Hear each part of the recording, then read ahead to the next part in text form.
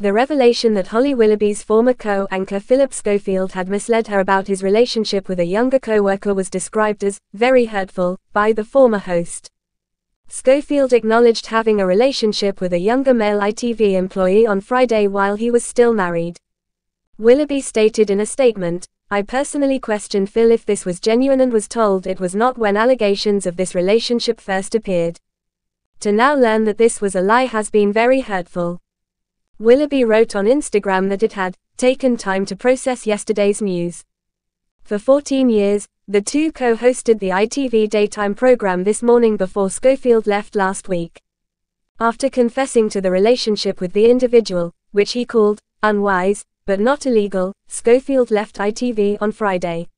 Eamonn Holmes and Dan Wootton, two former ITV daytime stars, said the disclosures raised concerns about how much the network's executives knew about the relationship. ITV reacted on Saturday by claiming that it had looked into claims that Schofield was dating a younger employee in 2020, but that both parties had repeatedly denied it.